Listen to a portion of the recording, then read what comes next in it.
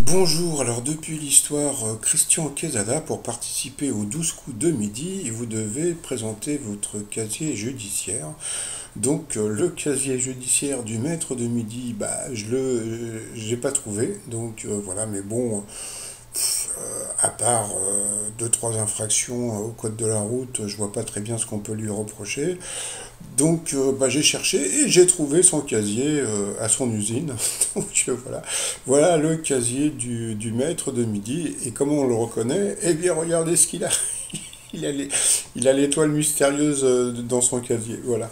Bon, allez, bon, ça va, on peut rigoler. Oh là là. Bon, allez, je vous dis à tout à l'heure. Bye bye.